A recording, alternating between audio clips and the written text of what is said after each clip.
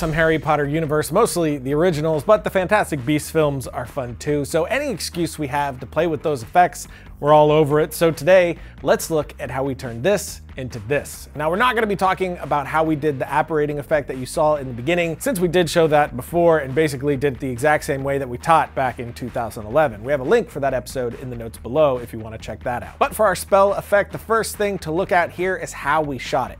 We looked out on a great overcast day, and that wintry overcast sort of look really does help sell the overall Harry Potter vibe, but that really has nothing to do with what we're talking about. I knew we were gonna add things in camera to help sell the effects, specifically wind, which again, we really lucked out on the day that we shot because it happened to be pretty windy already, so I didn't need to do anything extra. If there wasn't that natural wind, we would have used something like leaf blower or fan to get that movement on our actors to help sell the effect in the end. All I can say is sham.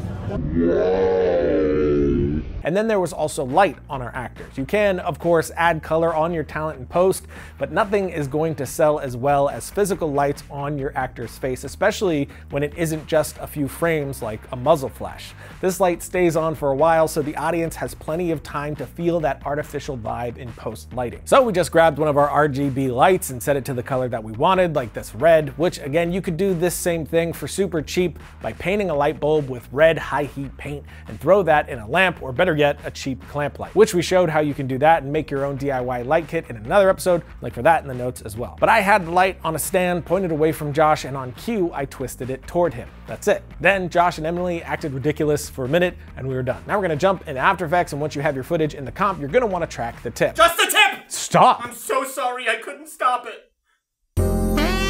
Dirty.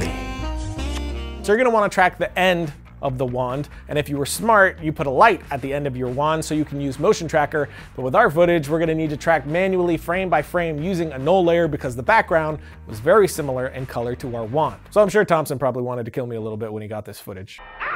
Now we're gonna drag and drop the footage of the spell beam. We're using an asset from our new extinction pack. And you can create this yourself using particles, but it's much easier to use pre-made assets like this if you can. So if you wanna check out the pack, link in the notes. But we are using our Harry Potter electric effect called Voldemort. So we'll drop that in and set the layer blending mode to screen and change the scale, rotation, and position if needed to match the shot. Our footage was shot at 1080 and our Voldemort effect is 4K, so we have a lot of detail if we wanna do a closer shot as well. For our shot, we're filming at an angle, so we're gonna make the spell effect a 3D layer and change the rotation to try and match our angle more. Now, depending on the sort of effect you're trying to achieve, you can either link this layer to the track and it'll move with the wand, but this sometimes makes it move unnaturally and it looks a little obvious and definitely like an effect. So for this, what we want is for part of the spell to be attached to the wand, like right here, and the other part to stay still, not influenced by the actor's movement so much. So a better option here and a handy trick is to use the puppet tool. So for this, we're gonna pre-compose our spell layer by selecting layer,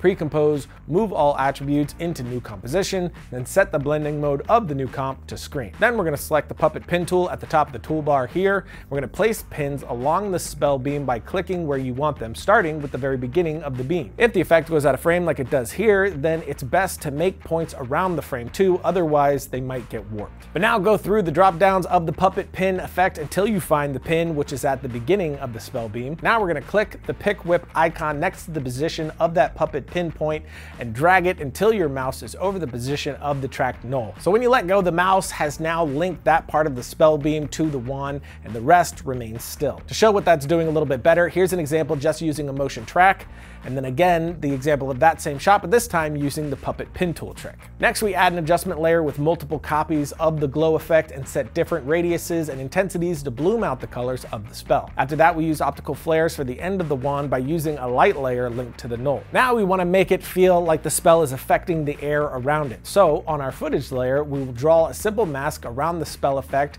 then grab Video Copilot's heat plugin. This is a great way to add displacement and give some extra energy to an effect. For this type of thing, I used to use turbulent displacement. Turbulent displacement, turbulent displacement. But ever since Heat came out, it completely replaced the need for turbulent displacement, turbulent displacement. But in the plugin, we're gonna change the direction, scale, and speed until we like the look that we're getting. Nothing super specific here, we're just toying around until we're happy. But now we're gonna pause there so we can thank our sugar daddy. Yeah! Yeah. Sugar daddy! Yes! Good! Yes! Give me what you got!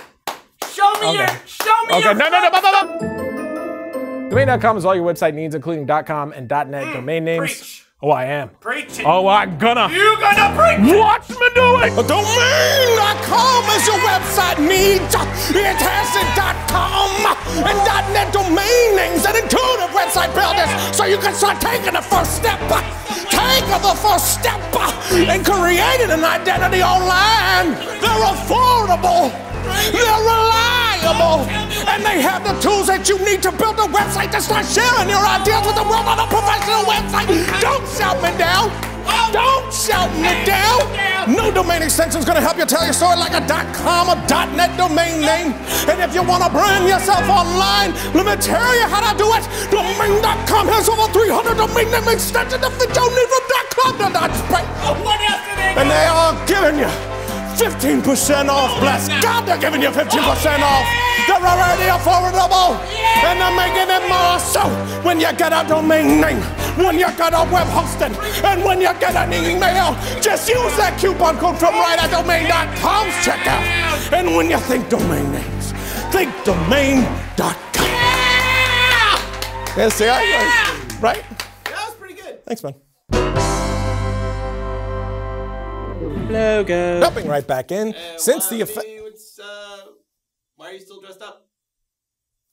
I mean, I like it, and I already did my hair. Yeah, but Take too for- long to like redo.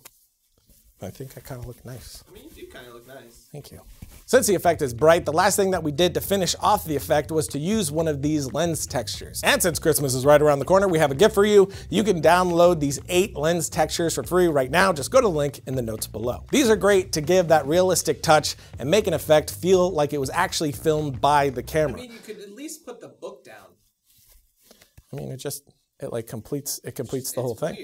No, it's, holding it. it's not weird. It's not weird. A little weird. It's not weird. To use them, we place it above all the other layers and then set the blending mode to screen. You can tweak it with effects and change the opacity till it looks right to you. And just, you know, slap some spank on it. What? Just, just spank it. I cannot take you seriously. You can't say things like spank dress like that. For our scene, we wanted it to flicker, so we used a wiggle No, expression. we are not gonna say wiggle. So we used a wiggle expression on the layer's opacity. Hold the Alt key and click on the opacity stopwatch, then type in the expression wiggle 80 40, which is the exact amount of wiggle I like to have. I don't. You can't. I don't like you saying. It's wiggle. like the exact amount of wiggle. This gives the layer a nice animated flicker, which works perfect for what we're looking for. For the wide shot, we did the same thing. We tracked both wands by hand, used the puppet pin tool on both separate spell effects, used optical flares, heat, glows, and magic bullet to add a slight cinematic flare. Only this time, we changed the color of Josh's spell to red. For this shot, we also had to show the impact of the two spells hitting each other like you've seen in the Harry Potter films. Looks like you're going to prison for embezzlement. Or, yeah, probably, yeah. For this, we used both Magic Impact and Energy Impact, again from our Extinction pack. Then we will adjust the scale and position on the effects until they are in the center of both spell beams. And for this, we didn't need to track anything because we're locked down and the impacts do remain in one place. Then we're going to tweak the color and brightness of the Energy Impact to match with the other effects more. Then we use Shockwave Muzzle Front and Vortex Muzzle Front from the muzzle flashes in the Extinction pack to act as a quick shockwave from the spell. We placed them over the impact and altered the color and brightness again until everything worked together. Then to help everything blend well together, we created an adjustment layer above the footage and colored one green on the left, one red on the right, and in the center we boosted the brightness. Then masked and feathered all of these sections to the ground to resemble light fall off from the spells. And finally we added some camera shake to help increase the feel of the shockwave and impact, and we used the camera shake effect which comes as part of the Red Giant universe, but you can do the same thing with keyframes or the wiggle expression right inside of your software. The camera shake plugin just makes it easier and faster, but finally, and actually finally, we added our lens texture effect that we showed before, and we have our effect. Which, with some adjustments, you can see here that there's a lot of different looks that you can get with the same process. Now for the title, we used Element 3D for the text and multiple layers of different effects from Extinction for magical energy, which of course was inspired by Fantastic Beasts, The Crimes of Grindelwald. We may do a tutorial for the title in the future if you guys want, so let us know in the comments. But that's it for today, and as a heads up, there's gonna be no episode on January 3rd or January 7th. We're taking a little time off soon, so we're not gonna have episodes on those days, but it's just the two days, so, you know, success. But that's it, I'll see you guys next time when I get a pig's tail for eating his cake. Off to do your taxes? Yeah. What?